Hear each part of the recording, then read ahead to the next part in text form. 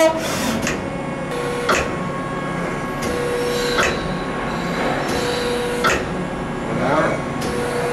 C-axis engaged, and then back 180, and that's the mill tool running up in the hole.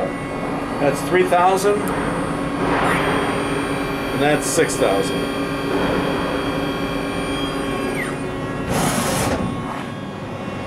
Mm-hmm.